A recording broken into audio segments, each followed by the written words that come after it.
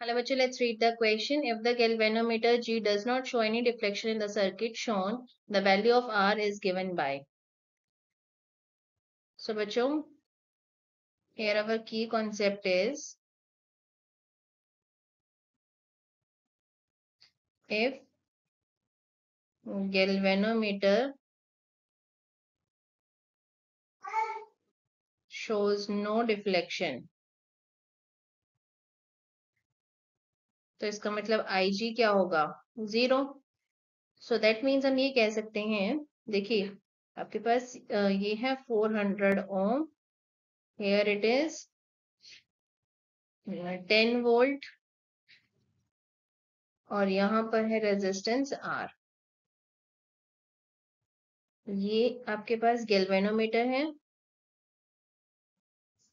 Potential difference two volt तो यहाँ पर आपके पास कोई भी करंट फ्लो नहीं हो रहा।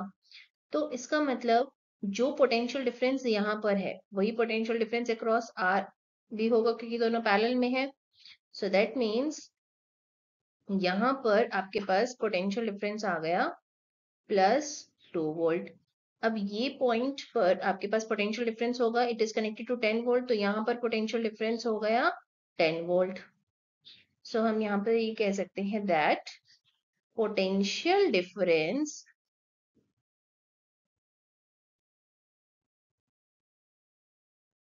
across 400 ohm resistance is equal to 10 minus 2 that is 8 volt. तो जो करंट 400 ओम रेजिस्टेंस से पास होगा वही करंट आर से भी पास होगा. सो that means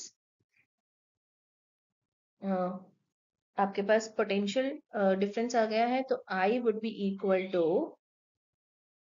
V upon R potential difference है eight and resistance is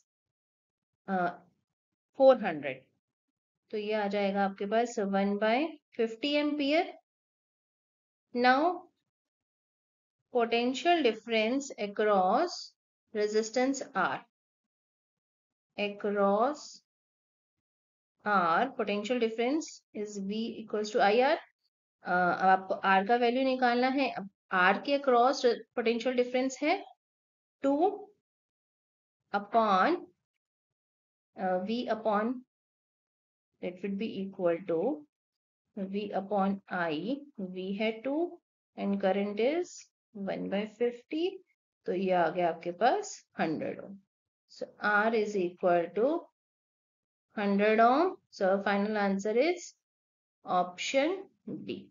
I hope you understood it well. Best of